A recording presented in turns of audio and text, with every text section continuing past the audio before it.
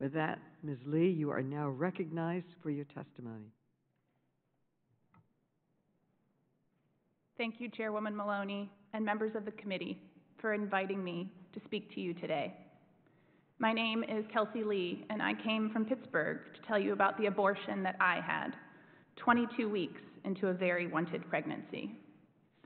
I had baby names on a short list. I had a Pinterest board full of ideas on how my two children, my three year old and my future baby, could share a room in our cozy century old house. At every appointment, it seemed my pregnancy was healthy and progressing. But when I saw him on ultrasound for the first time, at 20 weeks, six days into my pregnancy, what I saw was not compatible with life, life as I define it healthy, quality, free of suffering. He wasn't moving. His limbs and neck were deformed. His umbilical cord had a structural anomaly. If my pregnancy continued, he likely wouldn't have had the ability to swallow. He may not have been able to breathe, and his bones would have broken during delivery, no matter the method. So I did what I knew was right for my son, myself, and my family. I chose to end my pregnancy. I could not and would not carry my son for four more months to give birth to him, knowing his life would be filled with pain and suffering.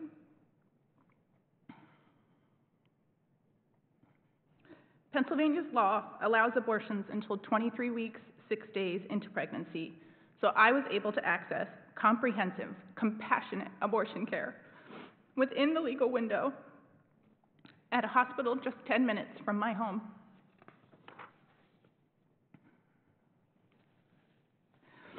Just six weeks later, while I was still grieving and healing, I stood before a bank of cameras and pled with the Pennsylvania legislature not to pass a bill that would ban abortion at 20 weeks, a bill that would have banned my abortion and stripped me of my privacy in my most vulnerable moments. We stopped that legislation in its tracks. A year later, when the bill came up again, I went from office to office in Harrisburg, asking lawmakers to support people like me. Enough lawmakers listened and understood the gravity of their responsibility that we stopped that bill from becoming a law. Pennsylvania's abortion laws are far from perfect. The state puts patients in a 24 hour timeout after trying to shame them out of getting an abortion with biased information. Among the demeaning questions I was subjected to was an offer to mail me a week by week fetal development guide. You can imagine how difficult that was for me to hear. But because lawmakers listened to their constituents, in this new reality the Supreme Court created, Pennsylvania is a beacon for patients in other states. I now work at Allegheny Reproductive Health Center, where we are proud to provide abortion care. I schedule appointments and find patients the resources they need to travel to Pittsburgh and pay for their care. Two thirds of the calls I field in a given day are from patients who live in other states. Because the abortion bans going into effect across this country cannot and will not stop anyone from needing an abortion. No one calling owes me a justification for why they need their care.